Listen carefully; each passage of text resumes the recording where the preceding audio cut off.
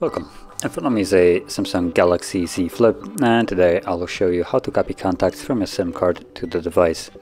So to get started, let's go onto the app tray and open up the standalone contacts app right here.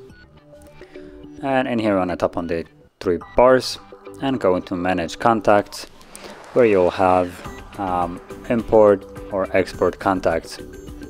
Let's tap on import, choose from your SIM card and then select the contacts that you want to import like so. And from there once you selected all the ones that you want uh, if you want all of them you have the simple button right here on the top.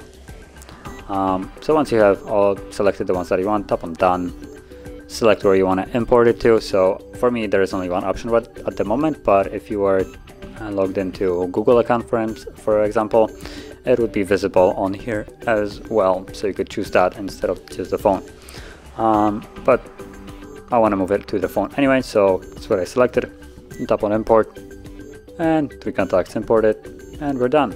So now we have imported three contacts and that is how you would do that. So if you found this very helpful, don't forget to hit like, subscribe and thanks for watching.